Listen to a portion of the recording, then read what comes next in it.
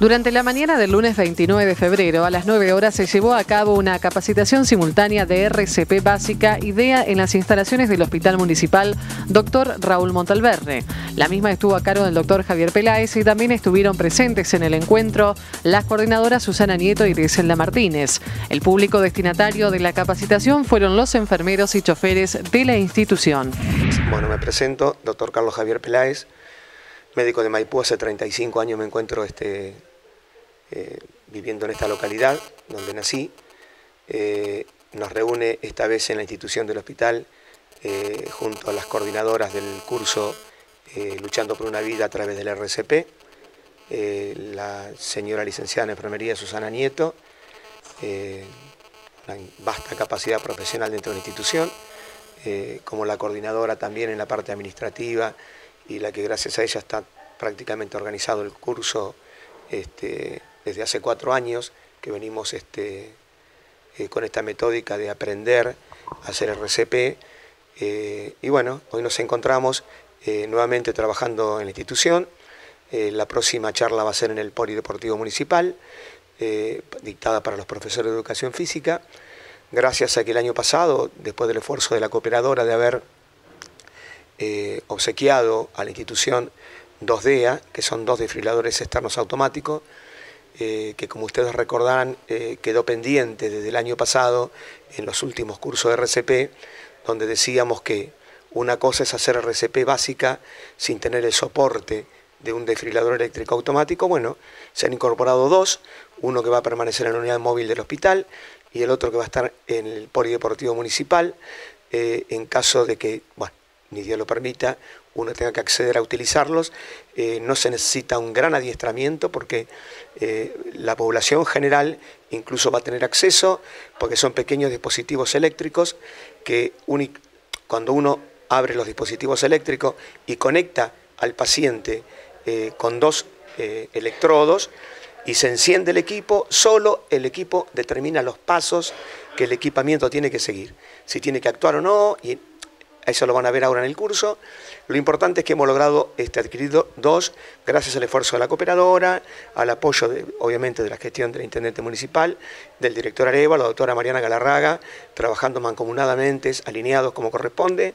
Este, queremos este, eh, dejar este, en claro que nuestro objetivo es eh, tratar de que todo el pueblo sepa hacer eh, maniobras de RCP.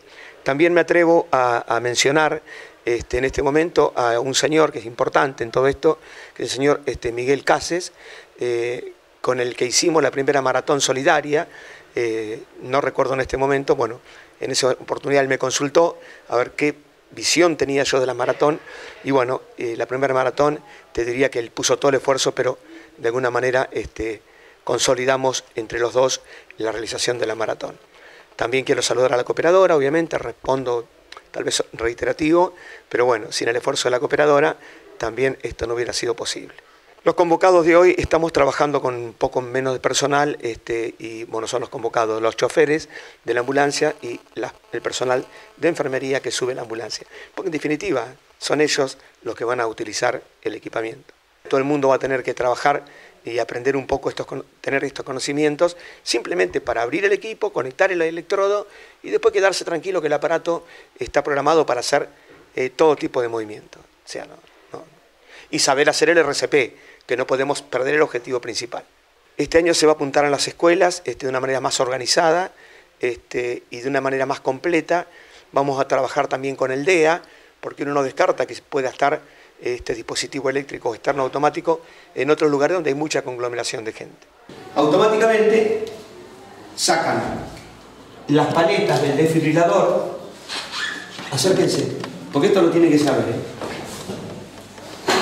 El desfibrilador, ahora vamos a ver aquel desfibrilador que está allá, este es el simulador. Sacan las paletas o los electrodos y van colocados en el precordio Sí, escúchenme, las paletas tiene la parte de la, ya ideado para la parte de la, debajo de la tetilla, siempre de la mamila, y el otro soblodado, ya están ideados los, son todos los electrodos, son igual. Tengan en cuenta que esto no pueden tomarse todo el día para hacerlo.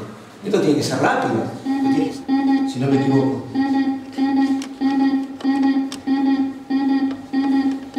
Esto es un escenario real.